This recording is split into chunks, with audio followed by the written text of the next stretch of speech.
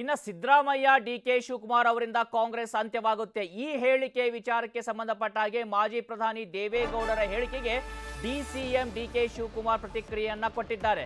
ದೇವೇಗೌಡರ ಮಾತೇ ನಮಗೆ ಆಶೀರ್ವಾದ ಇದ್ದಂತೆ ಅಂತ ಕೂಡ ಡಿ ಕೆ ಶಿವಕುಮಾರ್ ಹೇಳಿಕೆಯನ್ನ ಕೊಟ್ಟಿದ್ದಾರೆ. ಕಾಂಗ್ರೆಸ್ಗೆ ಒಂದು ನೂರ ಮೂವತ್ತೆಂಟು ವರ್ಷಗಳ ಇತಿಹಾಸ ಇದೆ. ಈ ಬಾರಿ ರಾಜ್ಯದಲ್ಲಿ ಒಂದು ನೂರ ಮೂವತ್ತಾರು ಸ್ಥಾನಗಳನ್ನು ಕಾಂಗ್ರೆಸ್ ಗೆದ್ದಿದೆ. ಇಬ್ಬರು ಪಕ್ಷೇತರರು ನಮ್ಮ ಪಕ್ಷ ಸೇರ್ಕೊಂಡಿದ್ದಾರೆ. ಅಲ್ಲಿಗೆ ಒಂದು ನೂರ ಮೂವತ್ತೆಂಟು ಸ್ಥಾನ ಆಗಿದೆ. ಇದನ್ನ ದೇವೇಗೌಡರು ಪದೇ ಪದೇ ನೆನಪನ್ನ ಮಾಡಿಕೊಳ್ಬೇಕು ಅಂತ ಕೂಡ ಡಿ ಕೆ ಶಿವಕುಮಾರ್ ಟಾಂಗ್ ಅನ್ನ ಕೊಟ್ಟಿದ್ದಾರೆ. ನೂರ ಮೂವತ್ತೆಂಟು ವರ್ಷ ಆಗಿದೆ ಕಾಂಗ್ರೆಸ್ಗೆ. ಇಲ್ಲಿ ನೂರ ಮೂವತ್ತಾರು ಸೀಟ್ ಬಂದಿದೆ. ಅಲ್ಲ ಸರ್ ಮಾಜಿ ಪ್ರಧಾನಿಗಳು ಡಿ ಕೆ ಶಿವಕುಮಾರ್ ಮುಂದೆ ನೂರ ಮೂವತ್ತಾರು ಇಲ್ಲಿ ಬಂದಿದೆ. ಇಬ್ರು ಇಂಡಿಪೆಂಡೆಂಟ್ ಆಗಿದ್ದಾರೆ ಸೇರ್ಕೊಂಡಿದ್ದಾರೆ. ಎಂಟು ವರ್ಷ ಆಗಿದೆ ಕಾಂಗ್ರೆಸ್ಗೆ ನೂರ ಮೂವತ್ತೆಂಟು ಶಾಸಕರಿದ್ದಾರೆ. ಅಲ್ಲ ಸರ್ ಇನ್ನು ರಾಮ ಮಂದಿರ ವಿಚಾರಕ್ಕೆ ಸಂಬಂಧಪಟ್ಟ ಹಾಗೆ ಕೂಡ ಡಿ ಕೆ ಶಿವಕುಮಾರ್ ಒಂದು ಹೇಳಿಕೆಯನ್ನ ಕೊಟ್ಟಿದ್ದಾರೆ. ರಾಮ ಮಂದಿರ ಉದ್ಘಾಟನೆಗೆ ನನ್ನನ್ನ ಸಿಎಂ ಅವರನ್ನ ಕರೆದಿಲ್ಲ. ರಾಮ ಮಂದಿರ ಉದ್ಘಾಟನೆಗೆ ಆಹ್ವಾನಿಸದಿದ್ದಕ್ಕೆ ಡಿ ಕೆ ಶಿವಕುಮಾರ್ ಕಿಡಿಯನ್ನ ಕಾರಿದ್ದಾರೆ. ಎಲ್ಲಾ ದೇವರುಗಳು ಕೂಡ ನನ್ನ ಹೃದಯದಲ್ಲಿದೆ ಅಂತ ಡಿ ಕೆ ಶಿವಕುಮಾರ್ ಹೇಳಿಕೆಯನ್ನ ಕೊಟ್ಟಿದ್ದಾರೆ. ಅದಷ್ಟೇ ಅಲ್ಲ ಅನ್ನಭಾಗ್ಯ ಯೋಜನೆಯಿಂದಲೇ ಮಂತ್ರಾಕ್ಷತೆ ಆಗ್ತಿದೆ. ಅನ್ನಭಾಗ್ಯ ಯೋಜನೆಯಿಂದ ಮಂತ್ರಾಕ್ಷತೆ ಆಗ್ತಿದೆ. ಅರಿಶಿನ, ಅಕ್ಕಿ ಸೇರಿಯೇ ಮಂತ್ರಾಕ್ಷತೆ ಆಗೋದು. ಡಿ ಕೆ ಶಿವಕುಮಾರ್ ರಾಮ ಮಂದಿರ ಉದ್ಘಾಟನೆಗೆ ಆಹ್ವಾನಿಸಿದ್ದಕ್ಕೆ ಈ ಹೇಳಿಕೆಯನ್ನ ಕೊಟ್ಟಿರುವಂತದ್ದು ಕಿಡಿಯನ್ನ ಕಾರಿರುವಂತದ್ದು ನಾನು ಶಿವಭಕ್ತ ಆಂಜನೇಯನ ಮೂರ್ತಿ ಇಲ್ಲಿದೆ ನೋಡಿ ಅಂತ ಕೂಡ ಡಿ ಕೆ ಶಿವಕುಮಾರ್ ತೋರಿಸಿದ್ದಾರೆ On Jan 22, will you be going for Ram Mandir inauguration, sir? On Jan 22? See, I have not been invited. Either my chief minister has not been invited. I could read in the press my Congress president has been invited, but the party will take a call.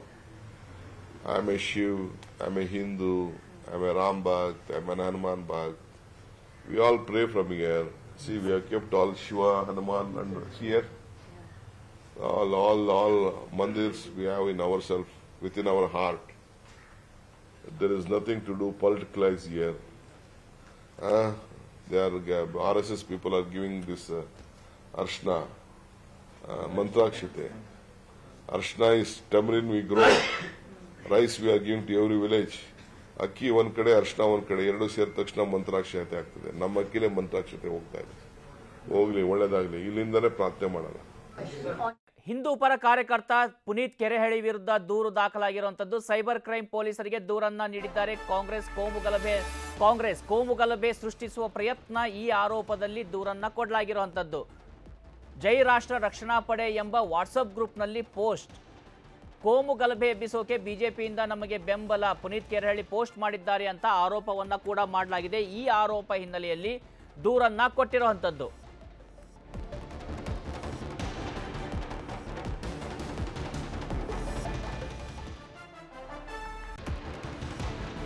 ಈಗ ಸದ್ಯಕ್ಕೆ ಈ ದೂರದಂತೂ ದಾಖಲಾಗಿದೆ. ಅಂದ್ರೆ ಆ ಒಂದು WhatsApp ಗ್ರೂಪ್ನಲ್ಲಿ ಇಂಥ ಒಂದು post ಅನ್ನ ಇವರು ಮಾಡಿದ್ದಾರೆ ಅಂತ ಹೇಳಲಾಗುತ್ತೆ. ಜೈ ರಾಷ್ಟ್ರ ರಕ್ಷಣಾ ಪಡೆ ಎಂಬ ಅಂತಕ್ಕಂಥ ವಾಟ್ಸಪ್ ಗ್ರೂಪ್ ಅದು. ಆ ಗ್ರೂಪ್ನಲ್ಲಿ ಅವರು ಹೇಳಿದ್ದಾರೆ ಅಂತ ಹೇಳಿ ಒಂದು ವಿಡಿಯೋ ಅಂತೂ ಒಂದು ಟ್ವೀಟ್ ವೈರಲ್ ಆಗ್ತಾ ಇರುವಂಥದ್ದು. ಈ ಹಿನ್ನೆಲೆಯಲ್ಲಿ ಅವರ ವಿರುದ್ಧ ದೂರನ್ನ ಕೊಡಲಾಗಿದೆ.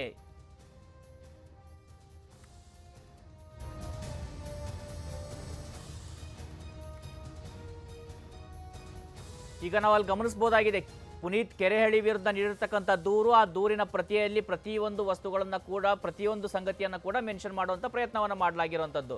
ಮತ್ತೊಂದು ಕಡೆ ನೋಡ್ತಾ ಇದ್ದೀವಿ, ಅವರು ಹೇಳಿದ್ದಾರೆ ಅಥವಾ ಅವರು ಪೋಸ್ಟ್ ಮಾಡಿದ್ದಾರೆ ಅಂತಕ್ಕಂಥ ಒಂದು ಪೋಸ್ಟನ್ನು ಕೂಡ ವೈರಲ್ ಮಾಡಲಾಗ್ತಾ ಇರುವಂಥದ್ದು. ಹೀಗಾಗಿ ಸದ್ಯಕ್ಕೆ ಪ್ರಶ್ನೆ ಮೂಡ್ತಾ ಇರುವಂಥದ್ದು, ಇಂಥ ಒಂದು ಹೇಳಿಕೆಯನ್ನು, ಇಂಥ ಒಂದು ಪೋಸ್ಟನ್ನು ಪುನೀತ್ ಕೆರೆಹಳ್ಳಿ ಮಾಡಿದ್ರ ವಾಟ್ಸಪ್ನಲ್ಲಿ ಅಂತಕ್ಕಂಥ ಪ್ರಶ್ನೆ ಮೂಡ್ತಾ ಇದೆ. ಈ ಹಿನ್ನೆಲೆಯಲ್ಲಿ ತನಿಖೆ ನಡೆಸೋದಕ್ಕೆ ಕೂಡ ಸದ್ಯ ಆಗ್ರಹ ಕೇಳಿ ಬರ್ತಾ ಇರುವಂಥದ್ದು.